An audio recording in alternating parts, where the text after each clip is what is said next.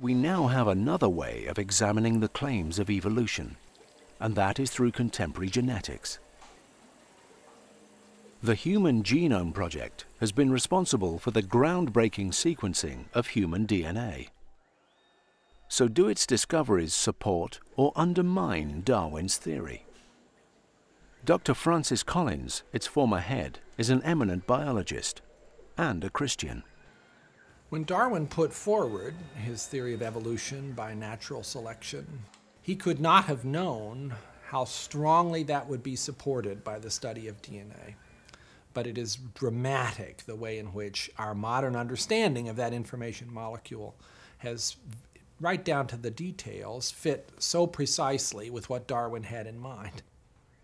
As we compare the DNA of multiple species, including our own, uh, we can see the evidence for descent from a common ancestor in a truly compelling and digital way. One could still argue, and some have, that those similarities between species is simply a reflection of the fact that God used the same motifs uh, over and over again with slight modifications. But that explanation does not hold up to close scrutiny when you look at the details. One of the most compelling examples I can think of is the nature of our own chromosome 2.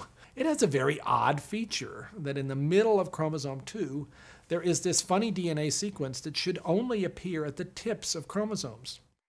It does appear at the tips of all of our chromosomes, but in chromosome 2, it's also in the middle. Well, interestingly, when you look at chimpanzees or gorillas, they don't have a chromosome 2 like ours, although the rest of their chromosomes look extremely similar to ours. The one exception is this they have two smaller chromosomes.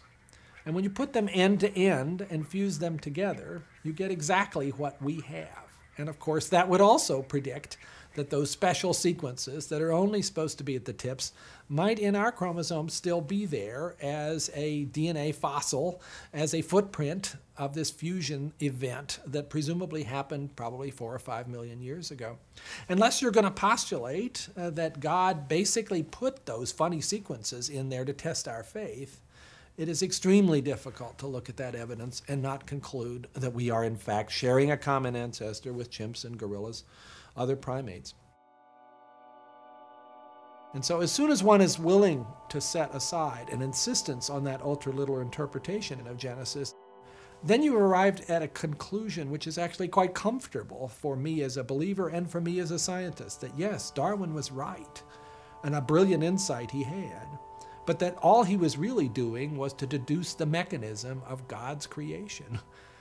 In fact, it's the case that shortly after Darwin published his amazing book, The Origin of Species, many leaders in the church embraced this, recognized this as an answer to the how question of God's creation, but in no way saw this as a threat to the idea of God as being the author of all of this.